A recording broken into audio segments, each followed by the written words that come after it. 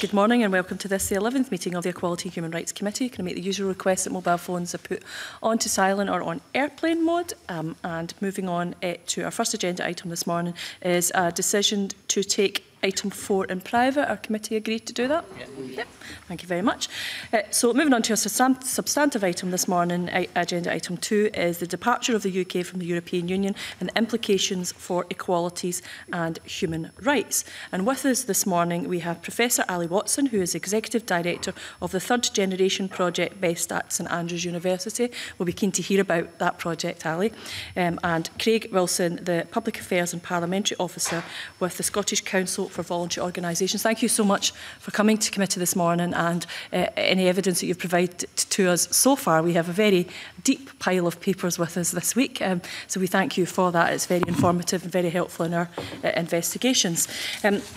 You'll understand that this committee has obviously got eh, a line of sight on equalities and, and human rights and the impact of any withdrawal from the, the European Union and the negotiations ongoing. So this is something that we'll tap into as the negotiations on, on, on go. So this is uh, this morning is, is another example of us, us doing this. Our focus this morning is the third sector uh, uh and the work that, that they do and the impact that, that,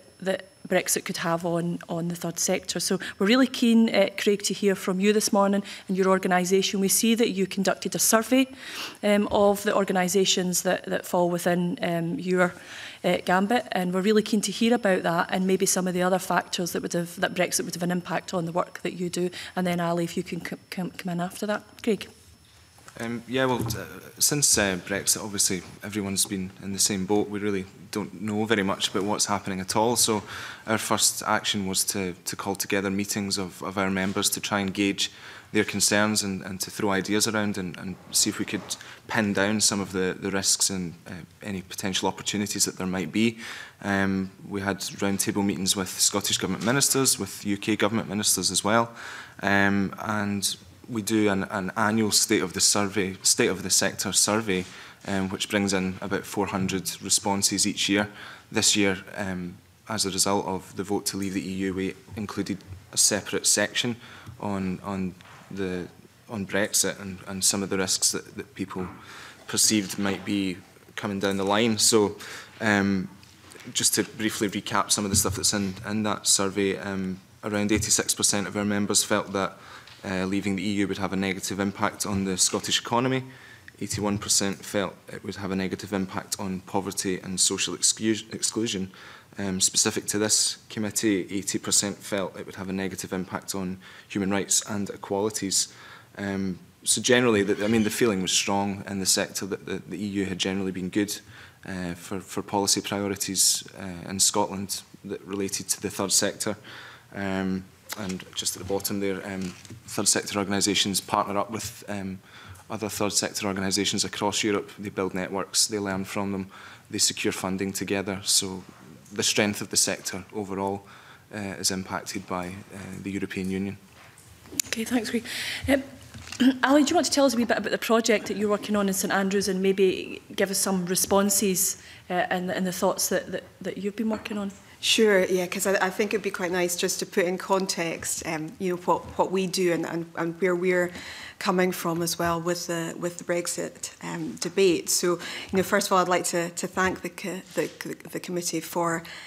giving the, the third generation project the opportunity to, to contribute to the, the evidence being presented here today. Um, we are basically an independent think tank um, that's based at the University of St Andrews And what we aim to do in our work is to further human rights institutions and cultures. So we welcome, of course, the, the work of the committee um, and especially your, your consideration of the impact of um, Brexit on human rights because really, I mean, this is an area that we think there just needs to be a whole lot more discussion um, on. So, I mean, just to, to give you a bit of, of background, because I think um, I think what we're doing is looking at Brexit and, and human rights from um, from really quite a wide perspective, um, you know, from an international and a UK and um, and and Scotland, um, and we're looking specifically at how human rights, both individual and collective, are understood in Scotland and across the world, and how those understandings are adapting to this political landscape, which is very. Um, which is very, there's a lot of unhe- upheaval and things um, at the moment. So, I mean, today what I'd like to do actually um, is focus on the collective rights implications of, um, of Brexit. Um, and just before I, I go on, I should clarify that um, when I, when I differentiate between individual and collective rights, I'm really referring to the idea that there are three dimensions of, of, of human rights. The first um, dimension being civil and political, um, the second um, economic and structural, and then um, the, the third um, dimension uh, of collective rights, those rights that can be interpreted as rights that are held by certain groups, either groups that are perhaps marginalised or minority groups, and also uh, rights that are held by all of us um, that access collective commons such as water and food and, and our environment. So you know, there's, a, there's a direct crossover between um, what we're looking at in terms of some of the work on marginalised and, and minority groups and the kind of work that, um, that, that CREED's doing um, as well. And basically we're focusing, I, I suppose, I mean, you've seen, you've seen the evidence submission. I'd probably quite like to focus on the human rights implications of, um, of climate change. Um, and I think it's important to look at that because it's fair to say that that's one area that has received scant attention so far in Brexit discussions. So there's no mention of climate, for example, in the letter that triggered Brexit, or indeed there's no, there's no mention of human rights as you know, that phrase, human rights. Um, in the UK, environmental policy is closely linked to EU policy, and so Brexit will affect almost everything, every part of the UK's environmental policy. And that policy, anyway, has been heavily influenced by Europe. So Brexit will require that measures already in place are safeguarded under the, the Great Repeal Bill, but that will only aim at preserving the status quo um, when much more um, is needed. And I think there's some, there are some opportunities. I think it's important to think about opportunities as well within Brexit, because given that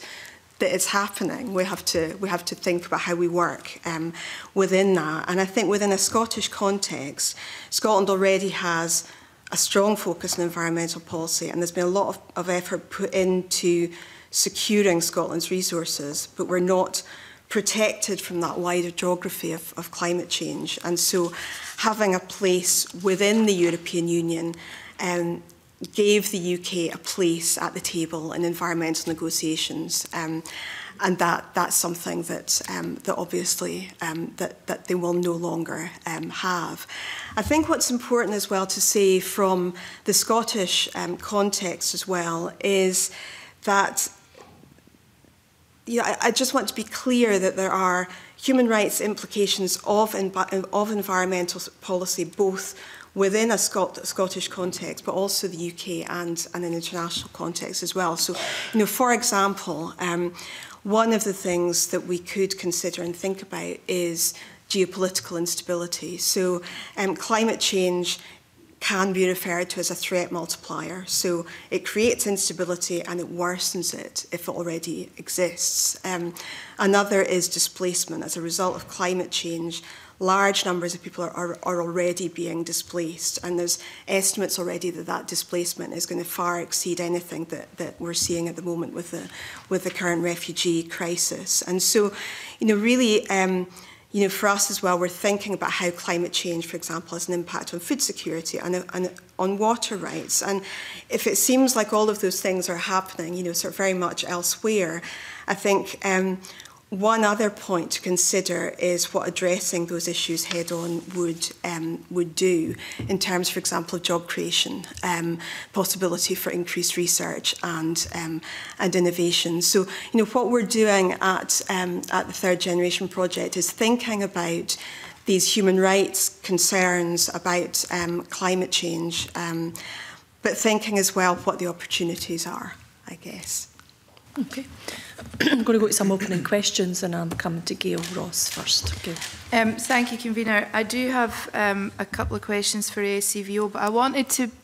to go along that line that um, Professor Ollie Watson started with, the, the climate change. I mean, obviously in Scotland, we have our own very ambitious climate change targets and we have hit the, the previous ones six years earlier, uh, six years early, sorry are there any particular EU policies that you think are under threat and how, how easy or difficult would it be to incorporate those into Scots law?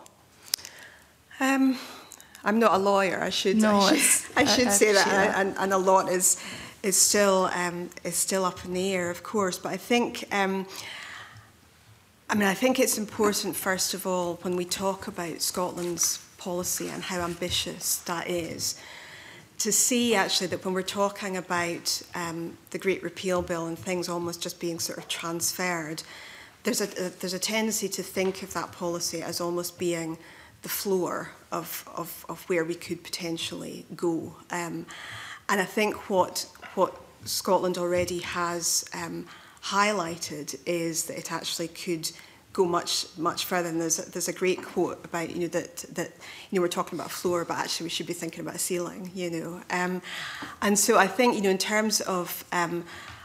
of climate change policies, you know, in in particular, um, you know, I think. Um,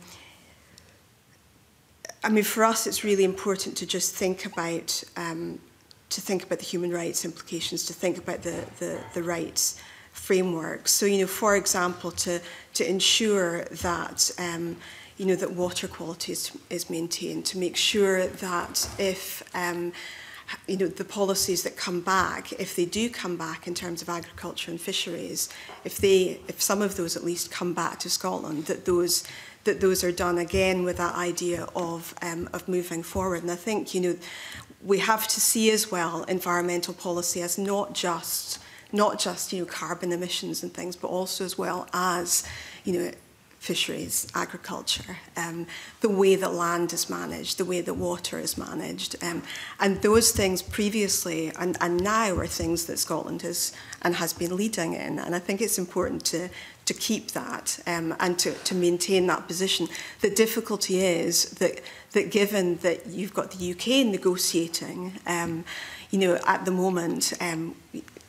as, a, as an EU member and having this position in the EU. But the worry is that not only are the policies weakened within a UK context, but within a European context as well, because you don't have the UK there, that that actually becomes problematic. And so then that you, you've got Scotland sort of slightly, you know, swimming amongst this, um, this sort of sea of policies that aren't moving forward as quickly as they, as they could.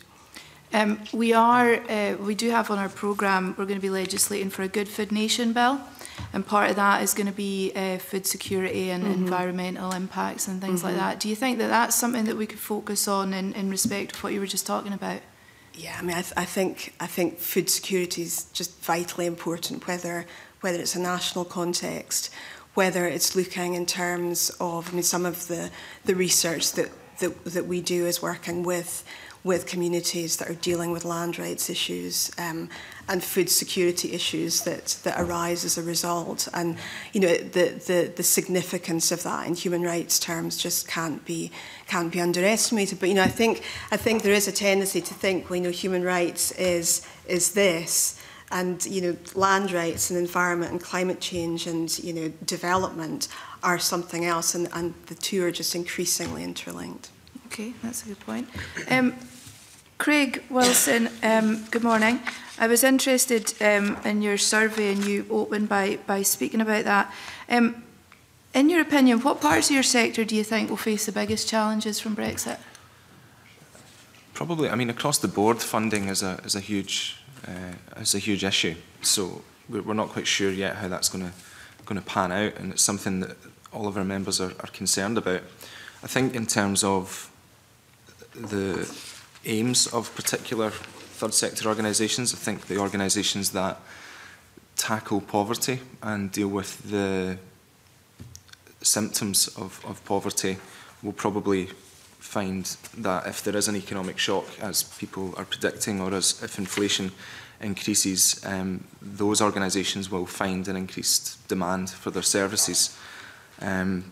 that represents something of a, of a perfect storm because if their funding is cut or reduces at the same time that demand for their services increases, um, that'll, that'll cause real problems for them.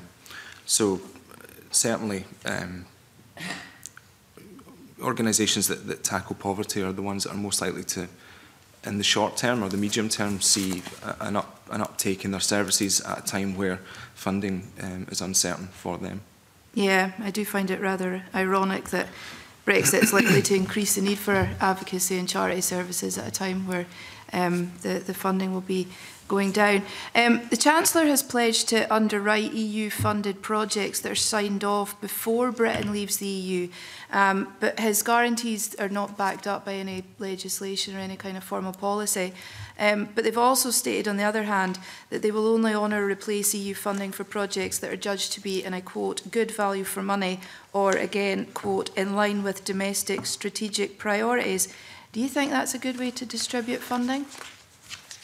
I mean, the, the, the first thing that should be said is it's great that he's under Britain up until uh, the UK leaves the EU. That, that has given some certainty to, to our members who were just you know, in shock the, the day after the vote. Um, in terms of, of going forward, it would seem that the, the UK and potentially Scotland will have to establish their own funding streams for future delivery of, of uh, charitable funding or for st strategic funding. Um, we're not quite sure how that's going to work yet. We don't know if this is going to be done at a UK level or if money will come to the UK and then be barnetted back to Scotland and then Scotland will have its own uh, priorities. Um, certainly that would seem sensible because you can then target what specific need you have. Um, the moment, under the 2014 to 2020 um, funding structures. Uh, the third sector has been able to tap in to funding for very specific things. That includes employability pipelines, social inclusion and poverty reduction, and growing the social economy. So to tap into that funding, you have to have very specific aims, and that funding is there for that purpose. If it's going to be as vague as in line with uh, domestic priorities or good causes, then that will be a worry to people because that's capricious and it could be up to the government of the day to decide what those priorities are. Um, so certainly any new funding system, whether it's at UK level or a Scottish level, we would hope would continue to have specific aims and ambitions which the third sector could then uh, lend itself to.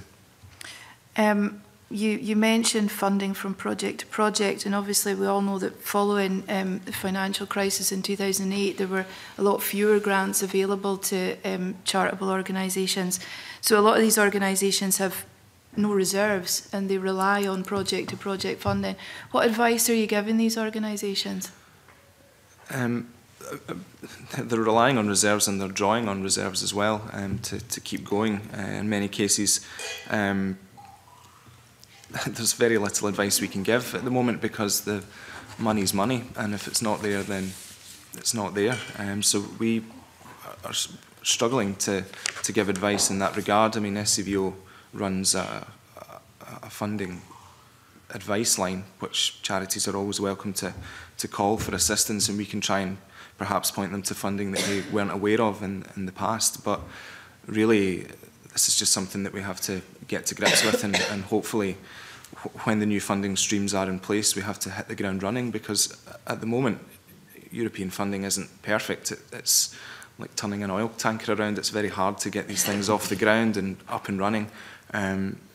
so, so we would hope that serious consideration is given to what funding is going to look like in the future and make sure that it starts um, on time and as it means to go on. Um, do you see any particular challenges for charities in the third sector in rural areas?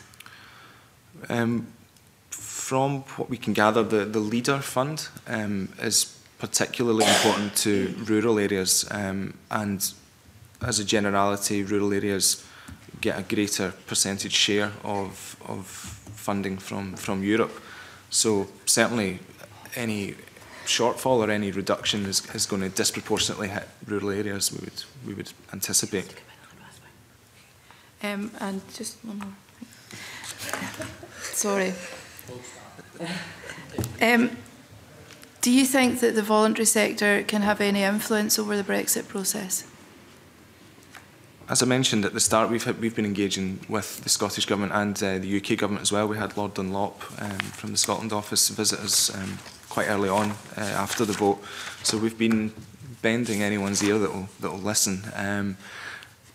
what we've kind of agreed amongst ourselves, amongst our members, is that the the debate was becoming very arid, um, very focused on the economy, on jobs and agriculture, and those things are hugely important. There's no doubt about it. But we felt that as that went on, people were maybe starting to switch off, and they were missing perhaps the the bigger picture of what, what Europe is about, and it's about you know, solidarity between European nations, about networks between third sector organisations, it's about human rights, it's about freedom to move about, it's about people, essentially. Um, so we're, we've been trying quite hard to inject that back into the debate to, to offer a, a bigger picture of, of what Europe actually means and, and hopefully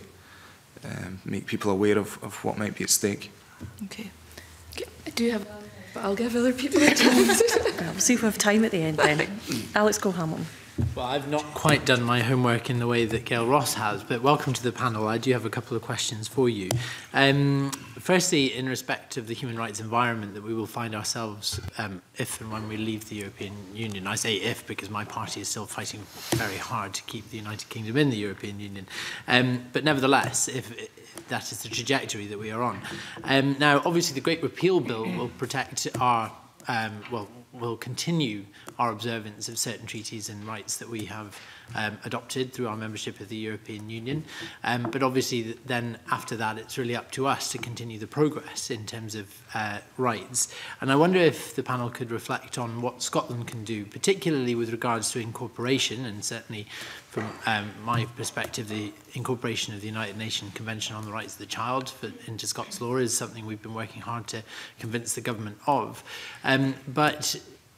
in the Brexit context, wh where are the other gaps? What are the other things that we should do as low hanging fruit, easy wins in terms of our progress in that um, human rights uh, agenda?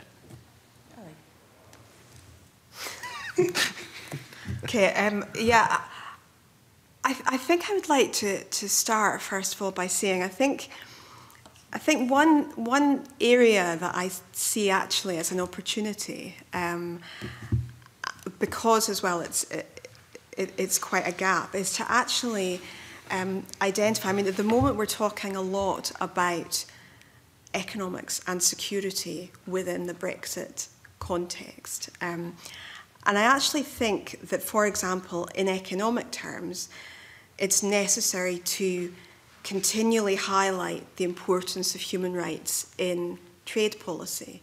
Because, you know, for example, when, when the UK negotiates, you know, if, if Brexit happens and the UK negotiates um, a, a trade deal with the European Union, the European Union is anyway sitting with all with all those rights that it has at, at the moment and wants, wants its trading partners to, to adhere to those rights um, as well. And so I think in economic terms, it's just necessary to continually highlight the the benefits actually of, of human rights to um, to trade policy because I think if we don't do that, then it becomes um, you know the possible consideration of um, of taking, you know, of having cheaper labour, taking rights away, you know, sort of not, not sort of always constantly moving the goal, the, the goals sort of forward. Um, and it's really important that we don't, that we ensure that individual and collective rights don't lose traction as a result of um, Brexit. So I think what that does is opens up uh, a space for a much more um, visible championing of, of human rights in trade policy. And I think as well that that then could form the basis of, of future policy leadership. It's, it's saying it's a different, it's a different type of, of trade policy. It's one that's, that's mindful, you know, of, of the wider term, the, the wider scale human rights um, implications. Because, you know, in both economics and security, security terms. You know, these, these issues that you know, maybe traditionally were, were sort of soft politics issues or seen as soft politics issues have hard politics implications if they're not, um, if they're not addressed. So I, I, think, I think given that, that there is a tremendous amount of political will in terms of the economic and security dimensions, but there's not so much mentioned about the human rights dimensions. One way to push human rights forward is, is within that particular context.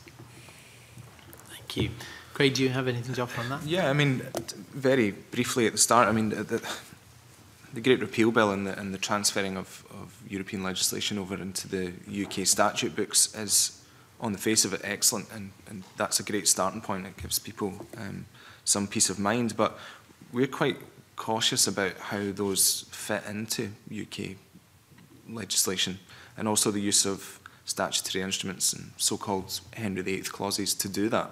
There is a risk that as, as this is done en masse, which is what will be, that will be, it'll be thousands of statutory instruments, there is a risk that the letter of the law is not quite remembered, it's tr translated in a different way, that there are accidental um, changes or you know, hopefully not, but deliberate uh, changes to those to those pieces of legislation. So that's something we want people to be very vigilant about. Um, it'll be difficult because it's it's monumental uh, the, the amount of legislation that we're talking about. Um, in terms of what Scotland can do, um, you know, I'm not a lawyer either. I don't know exactly um, what is devolved and what isn't, and how uh, how these things work. But I, I understand that as procurement law is um, sort of freed from EU legislation, there may be opportunities there to build in more equalities um, aspects to them that would maybe encourage you know, more disabled people to be employed or whatever those might be. It might be something that is worth looking at to, to improve procurement. Um, essentially to, to ratify as much into Scots law as possible that we, th we think is good. If, if it is doable, then I think that's certainly something that should be done.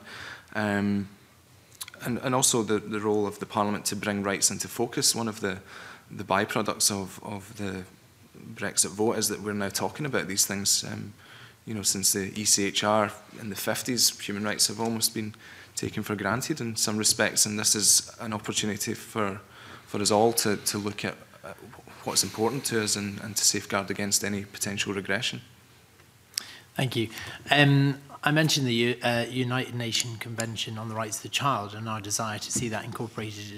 into Scots law because without it, children don't have access to justiciability of their rights. There's no recourse to justice if their rights are impinged upon uh, under the terms of that treaty. And that's why I think you know we need to take um, legislation in this country still further beyond Part 1 of the Children and Young People Act, which just gives a, uh, a uh, duty on ministers to raise awareness of the UNCRC rather than do anything which will bring about justiciability.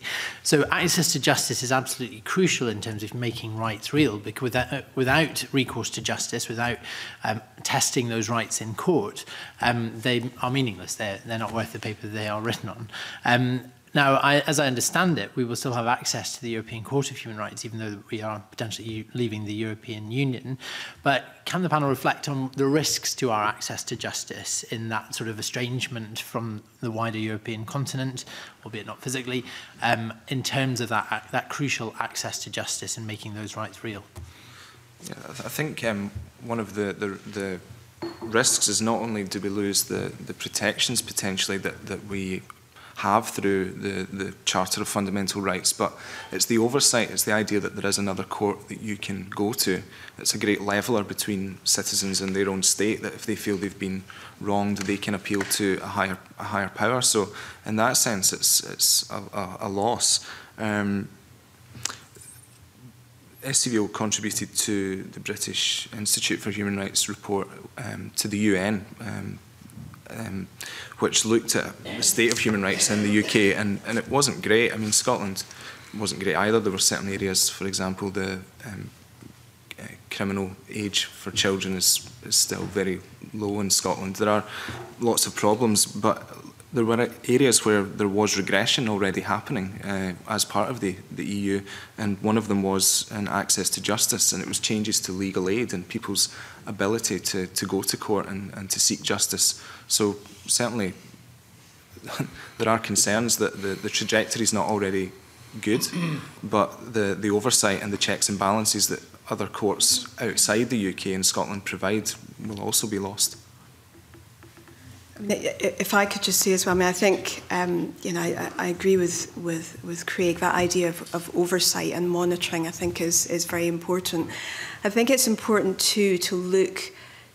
to look at those instruments that exist and like the UN Convention. Um, and also actually to, to and then to think about um, sometimes even the efficacy of, of those. Um, and whether actually um, they necessarily do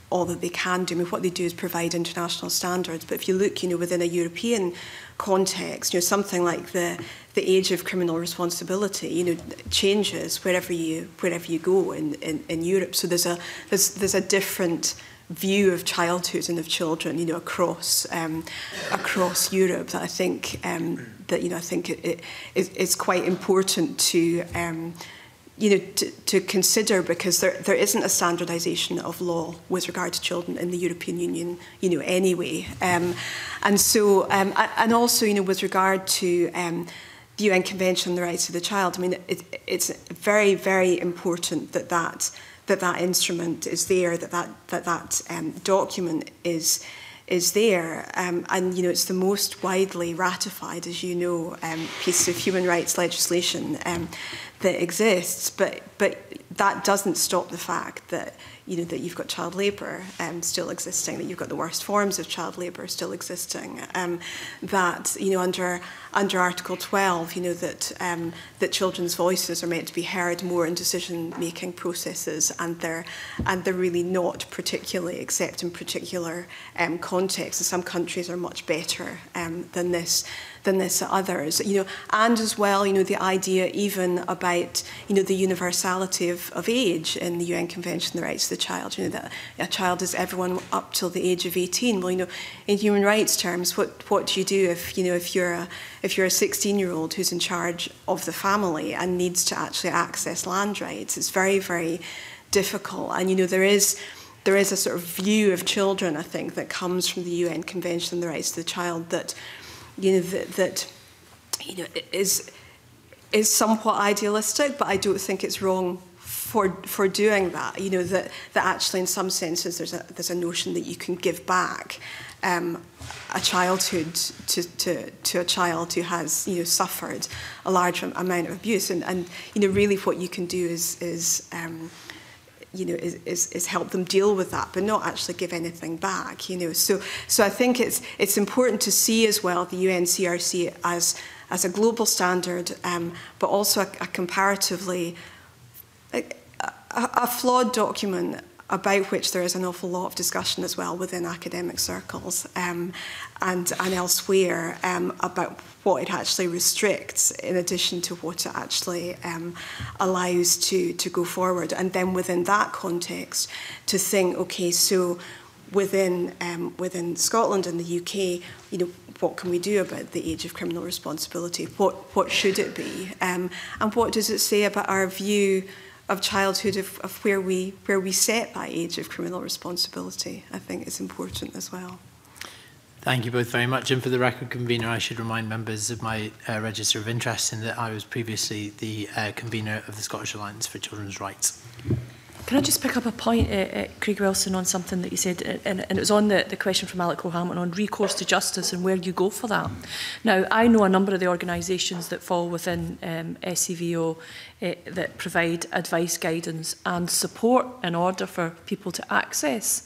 um, their rights and uh, to, to seek re recourse through the justice system. If you've not got EU funding for those projects and that's not been forthcoming from the Chancellor, What happens to those people when they're seeking that justice?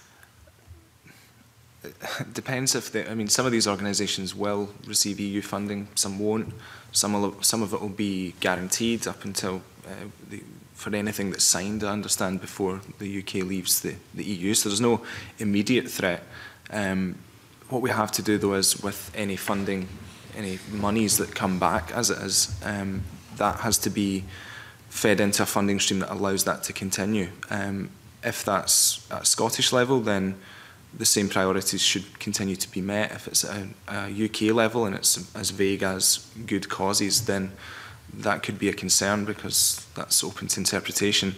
Um, in terms of whether they have that funding or not, if, if they don't have it, then they can't do their job. Um, they won't be able to signpost people in the way that they, they did in the past. So it's really important to, to make sure that, that the funding is sustained. Okay, th thanks very much. Um, Mary Fee. Um, convener and good morning. Excuse me. I suppose I wanted to further explore the issue of, of, of funding, and I know we've, we've concentrated quite heavily on that, but I think that's one of the, the key issues for the third sector organisations um, as, as we leave Brexit is, is the issue of, of funding. And if we look at um, third sector organisations, I, I suppose many of them have their core function, but third sector organisations are usually very, very inventive in, in the way they use their funding to ensure that they go 100% of the time, usually above and beyond um, what they're required to do.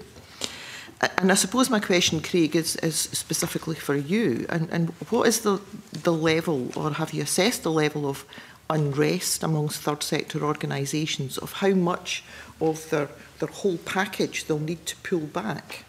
Um, and will they be left with just the core service that they provide, um, that, that they get funding for?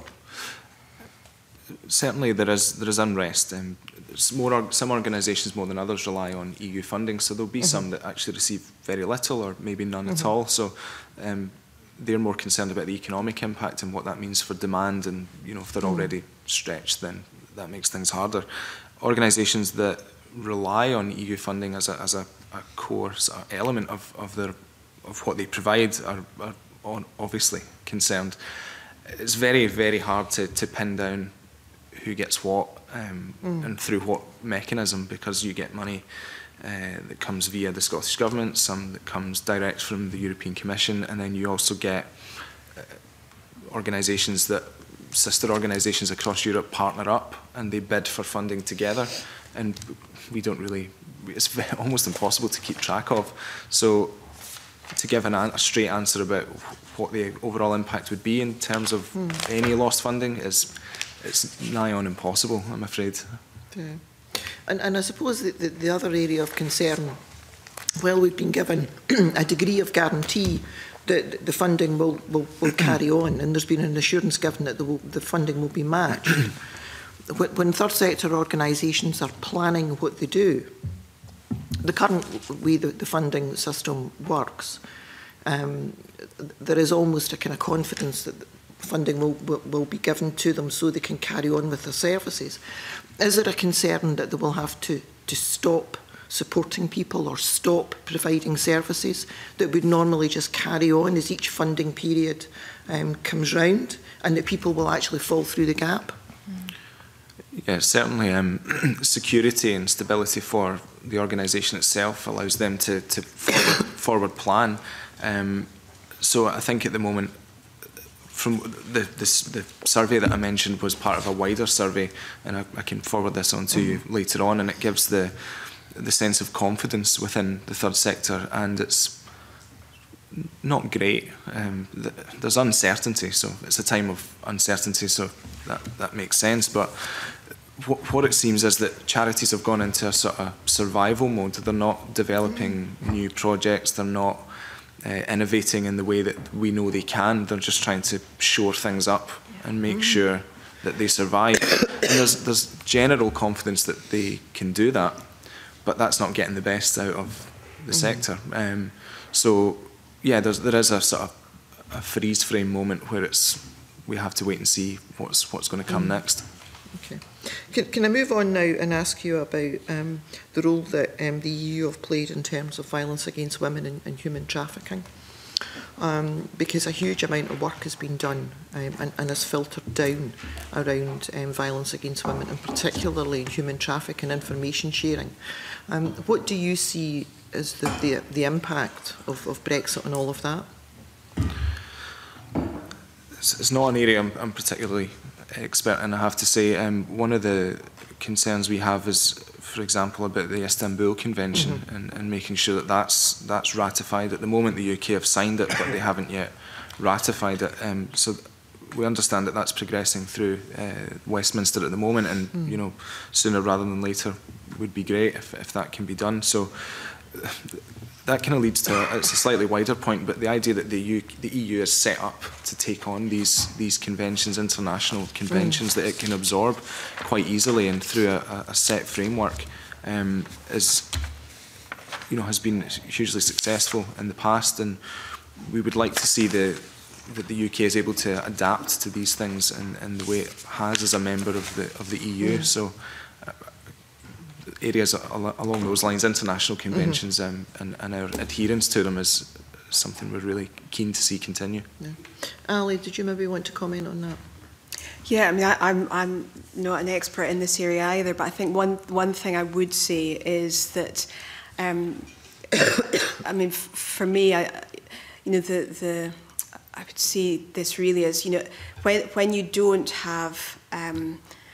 adequate laws to really um, protect vulnerable groups. Um, you know, so yes, individual rights are, are absolutely crucial, but you know, collective rights as well to um, to protect vulnerable groups. Then those vulnerable groups as well then become vulnerable to other forms of, of human rights abuse. So you know, for for me, I just I, I just think it's very important to um, to to remember that. Um, you know, that when, when you see you know, human trafficking, for example, that as, as well, that's, that's the end result of, you know, of, of something before that and something before that and something before that. And, you know, where it might seem at times um, difficult to think exactly um,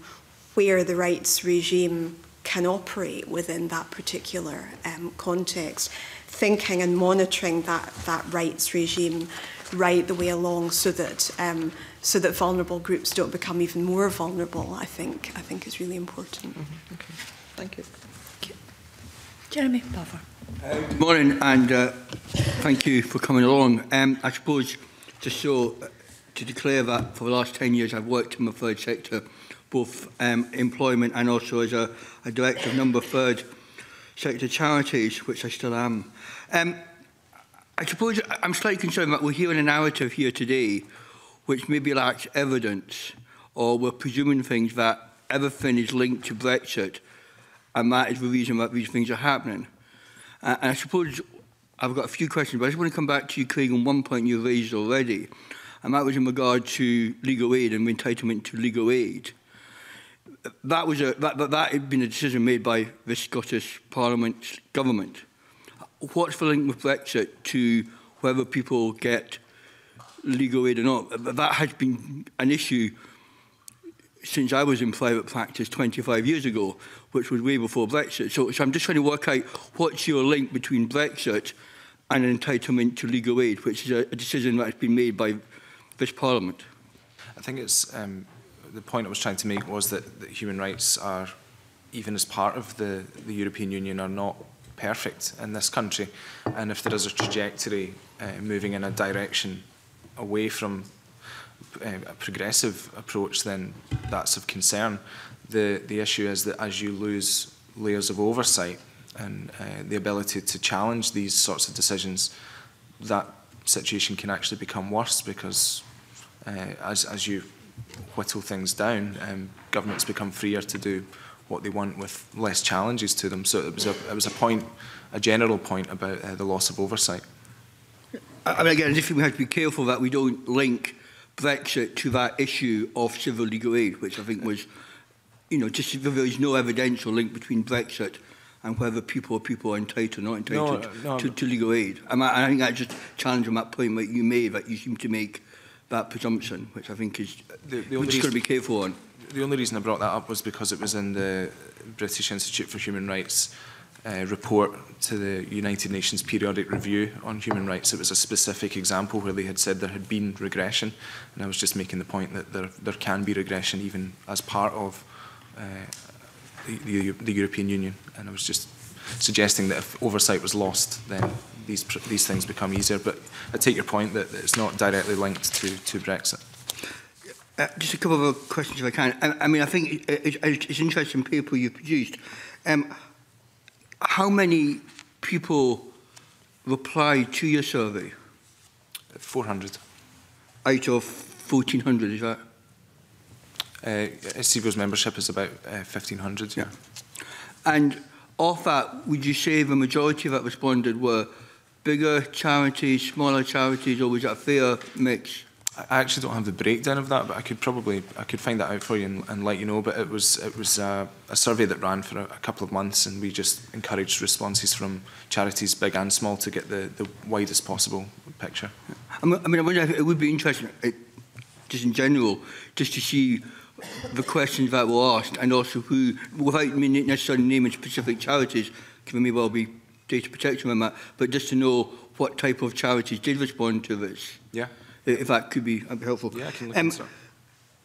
this is a question from ignorance, and again, it may be something you don't know off the top of your head.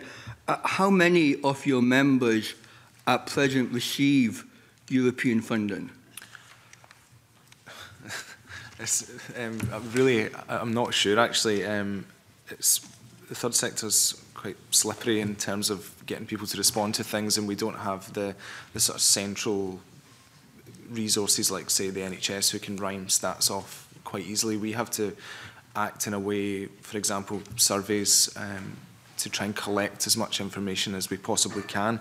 Um, so it is quite difficult. I mean, we know that um, about 40% of, of Scottish charities have had a partnership with European organisations, um, either at the moment or in the recent past. So at least 40% will have had some sort of uh, EU funding through uh, networks that they've established on their own.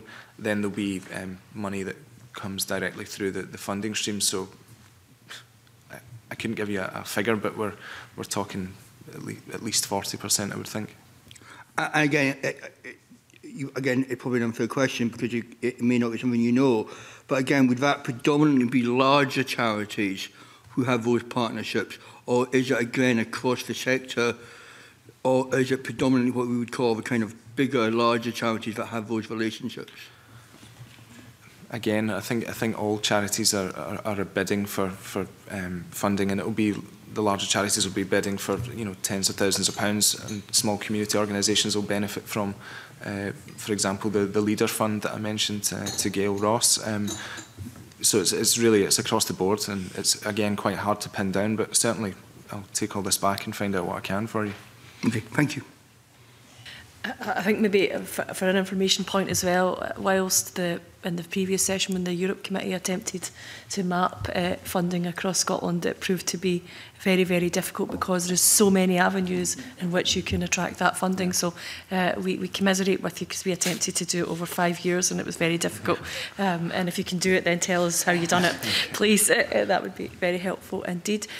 Is, uh, uh, Ali, I don't know if you want to come in in the back of any, any Jeremy's questions because we're specific at at the um, the survey. Mm-hmm. But but whether any of the partners that you're working with have had eh, similar experiences or or have eh, you know demonstrated any risk or opportunities to you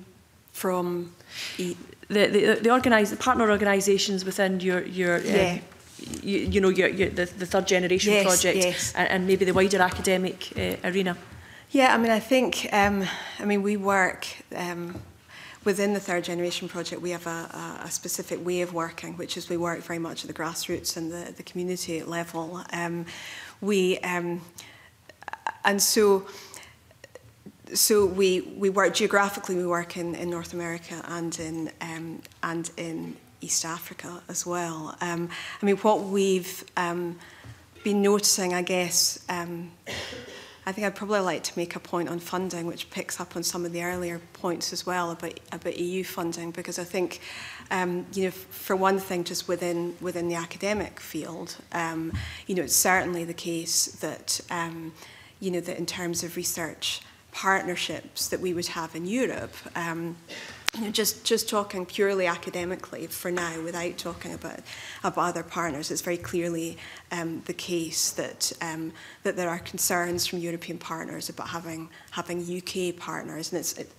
at the head of those bids. I mean, it's very anecdotal, but you know there, there are there are concerns. I mean, I think from a, a community perspective, um, I mean, I think it is.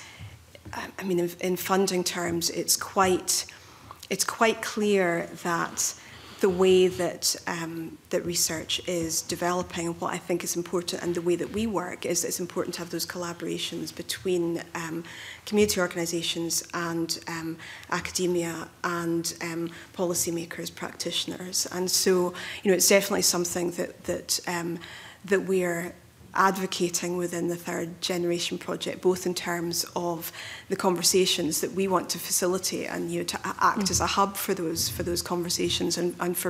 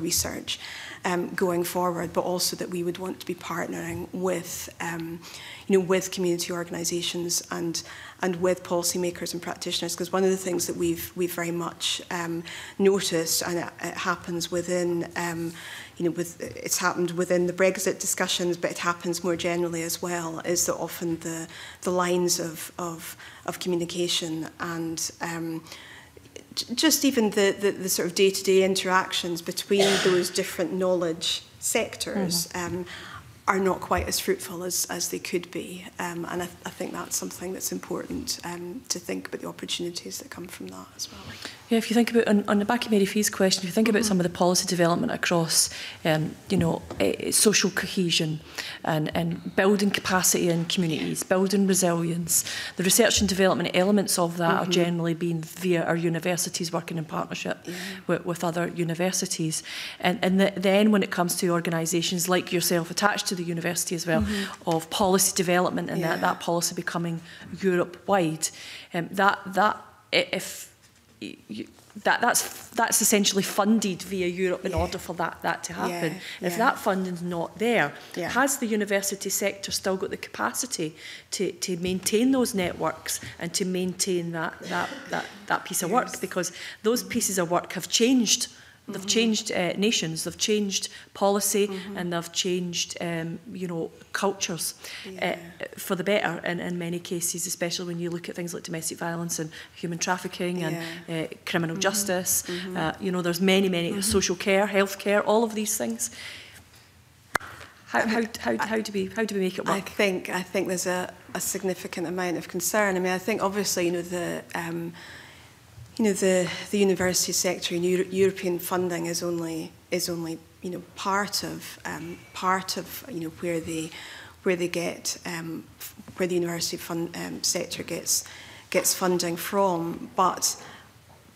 But it is a significant concern, it's a, and it's a significant concern, you know, right across academic um, disciplines, with no real sense yet of what's of what's going to fill that, because that's really quite a, a significant um, a significant chunk of funding um, to to fill and you know and there are a lot of concerns and you know and I, I think it's it's thinking about as well I mean th there's obviously going to be um, projects that will continue to be able to go on, but not necessarily then with UK as, as lead as lead partners, you know, as, as principal investigators, you know, and that might that might be fine, you know, um, but as well, it just does change the nature of that um, of that collaboration um, process. I mean, I think it, you know it's important to say as well that you know in terms of um, in terms of research too and, and thinking about community organisations and working with communities, just, you know, I think it's as well for, um, you know, for us as, as, as academics to be thinking, well, what actually does that sector need and what questions actually do they need asked and you know, do they need to be asked but also as well what knowledge is already there within the sector um, that, um, that, that, the academics are perhaps not, not party to. Mm. And so that for me is, is really important to have that, that, that fundamental collaboration between different kinds of knowledges because academic knowledge is certainly not the only one. Yeah. Th th thanks very much. But before I uh, bring Gail Ross in with the rest of our questions, is there any other colleagues got uh, any questions um, for our panel? No, Gail.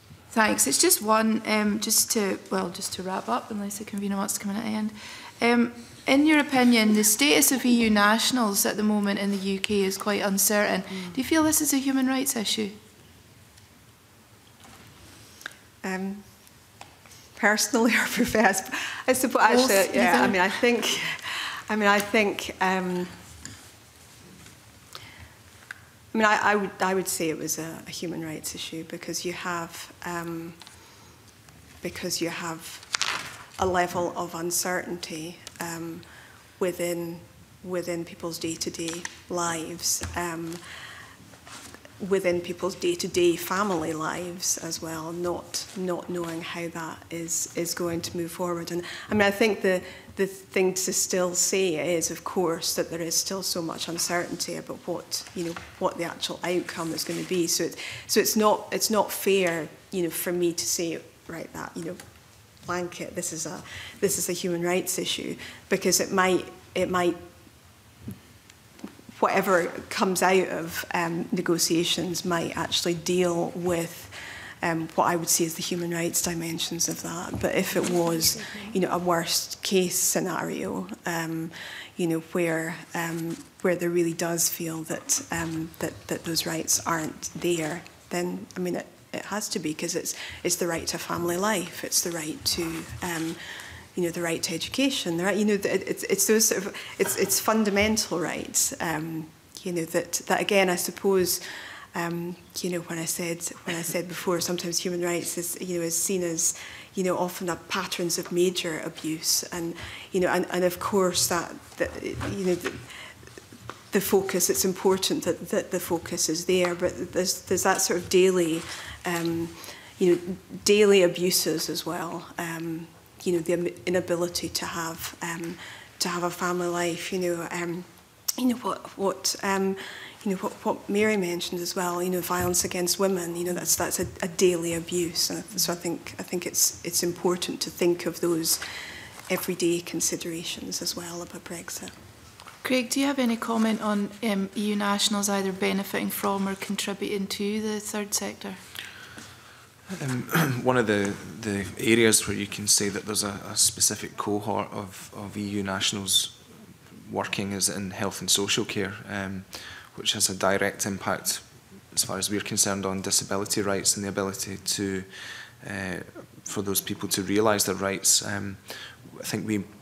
approximately there's about five percent um, EU nationals working in health and social care sector. So even if a you know a small percentage of them were to leave, it would have a massive impact on the delivery of health and social care services. Um, that's in, in our evidence, but the House of Lords uh, crossbench peer um, had pointed out that a lot of the personal assistance that um, disabled people rely on are EU nationals as well. So uh, they provide a lot of services. There's a lot of work in the third sector, but as a specific group, um, a specific cohort, I would say health and social care was an area where there could be challenges if there is changes to their immigration status or people just decide to leave thank you.